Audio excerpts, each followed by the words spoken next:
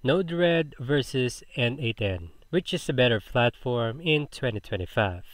Node-RED and N8N are both powerful automation tools, but they cater to different user needs. Node-RED is an open source, flow-based development tool primarily designed for automation and event-driven workflows.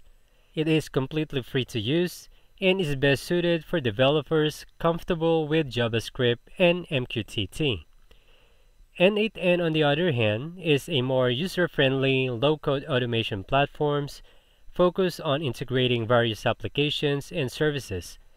N8N offers a free self-hosted version, while its cloud-hosted plan starts at $20 per month for individual users, scaling up based on usage and team size.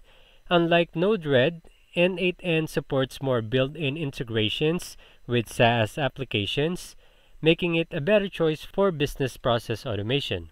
If you are working on IoT projects or need deep customization, Node-RED is your better choice. While N8N excels in automating business workflows with minimal coding. Ultimately, your choice depends on whether you need flexibility for IoT or seamless application integrations. And that's it. Thank you guys for watching and see you on the next one.